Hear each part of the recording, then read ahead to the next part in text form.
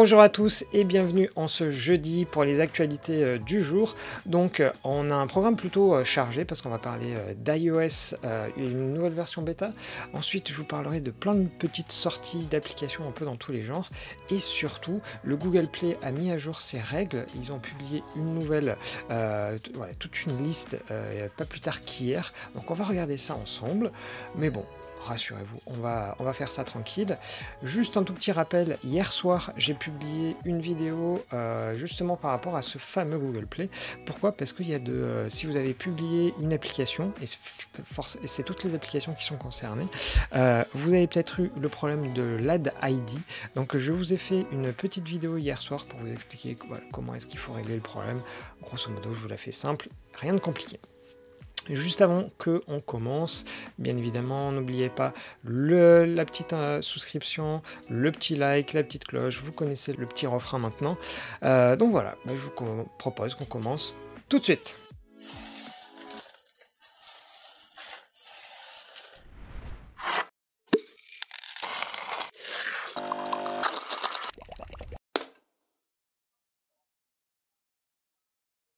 Pour commencer, on va se parler d'une nouvelle version bêta d'iOS, donc c'est la quatrième version euh, bêta.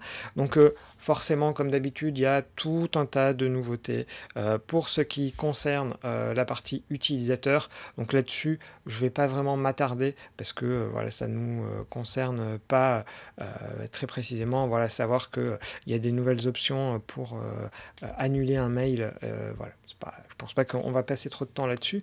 En revanche, une des grosses nouvelles fonctionnalités, c'est ce qui avait été présenté à la WWDC et ce qui s'appelle les Live Activity. Maintenant, sur l'écran de déverrouillage, on va avoir la possibilité d'afficher un widget et ce widget peut être dynamique. Donc dans l'exemple de la présentation euh, d'Apple à l'époque, c'était tout simplement bah, le fait de voir son euh, Uber, bah, voilà, à quelle étape euh, du trajet on en était. Et bien voilà, maintenant cette fonctionnalité, elle est disponible et c'est disponible à travers un, euh, voilà, un SDK qui s'appelle l'Activity Kit, qui est donc disponible, comme vous pouvez le voir, euh, autant sur iOS, sur iPad que macOS. Et euh, donc là-dessus, un truc très important avant même de commencer, c'est, voilà, vous voyez ici, c'est euh, donc les Live Activity et Activity Kit ne seront pas disponibles à la sortie euh, des versions d'iOS et, toutes ces choses-là. Euh, dans cette Activity Kit, ben voilà, on, va avoir le, un certain nombre de classes voilà, qui, qui, vous expliquent comment on fait, mais en réalité, ils ont mis une, documentation qui est plutôt assez conséquente, dans lequel en fait, ils nous expliquent qu'est-ce que l'on a le droit de faire ou pas. Donc voilà, c'est comment est-ce qu'on fait pour gérer euh, les mises à jour, comment est-ce qu'on fait pour intégrer ça dans les applications. Donc voilà, tout est euh, super bien expliqué euh, dans ce document. voilà, donc les live activity, c'est la principale nouveauté pour nous côté développement sur cette quatrième version bêta d'iOS. Donc voilà, n'hésitez pas à regarder si ça vous intéresse. On va enchaîner cette deuxième partie avec euh, tout un tas de mises à jour.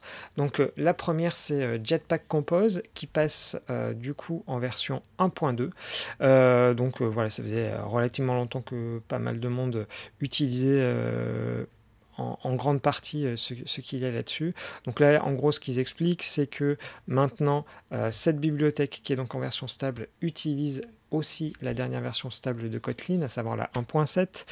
Et euh, ben voilà, ils expliquent que euh, un certain nombre d'API qui étaient auparavant expérimentales passent maintenant en public, donc c'est le cas euh, du lazy horizontal grid et vertical, et un certain nombre de modifiers également.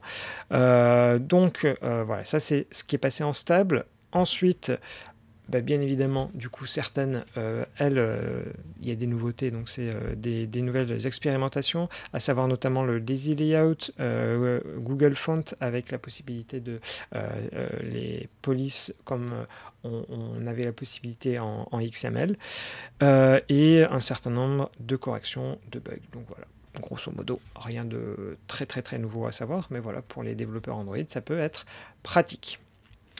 Ensuite, très rapidement, on enchaîne avec une mise à jour que sur laquelle j'ai été passé à côté. C'est celle de React Native, qui est donc une version relativement mineure qui a été sortie pour corriger un bug sur iOS. Donc bah, voilà, n'hésitez pas à le prendre. Et enfin, pour terminer, là pour le coup c'est un peu plus majeur, c'est JetBrains qui a sorti des mises à jour pour quasiment tous les IDE qu'ils ont, et notamment euh, IntelliJ.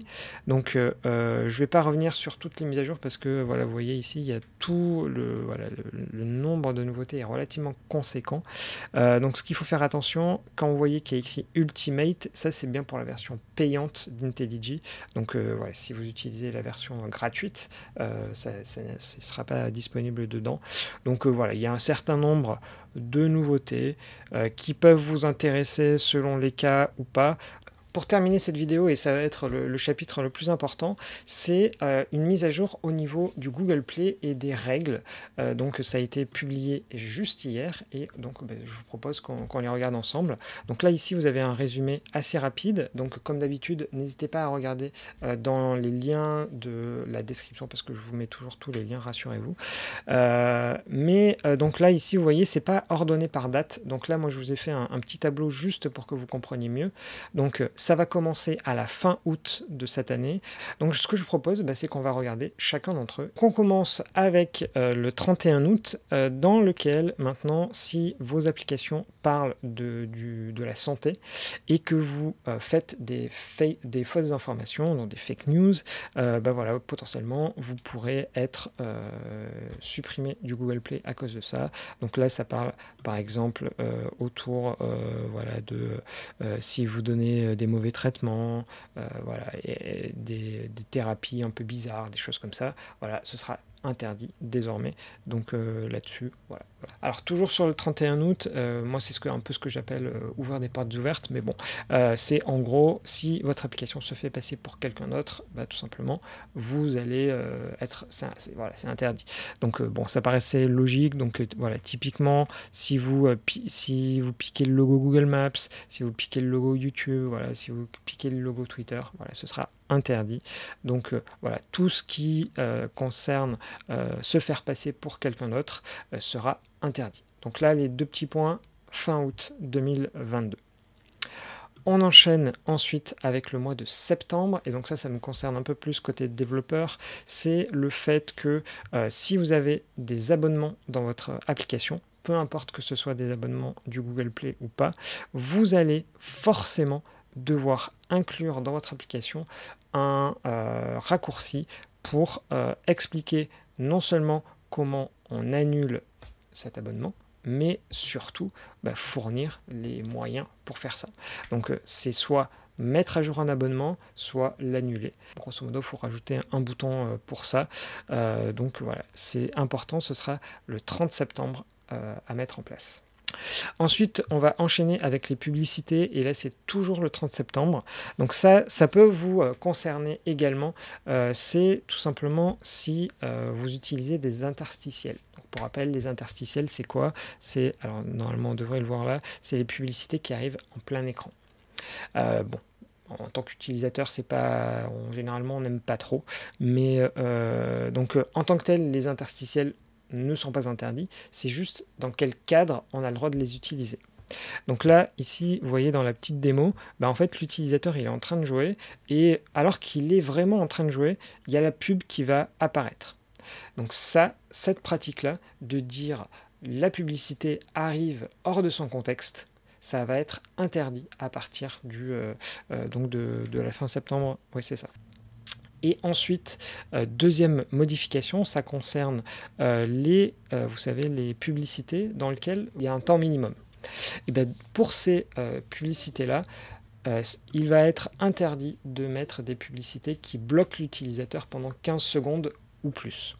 Ensuite, on va passer au 1er novembre. Donc la première partie, bon, c'est un peu euh, enfoncer là aussi des portes ouvertes.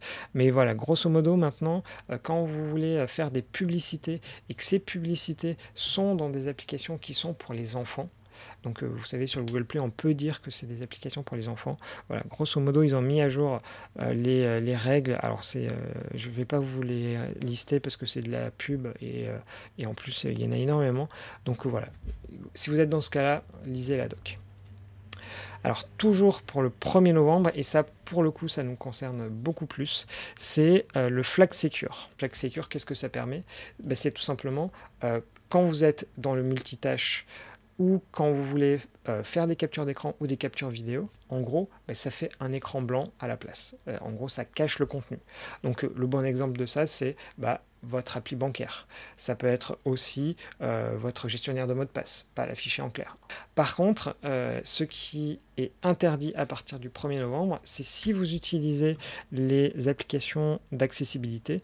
Donc, pour rappel, les, les, applis d'accessibilité sur Android, en fait, elles peuvent faire finalement un peu tout et n'importe quoi.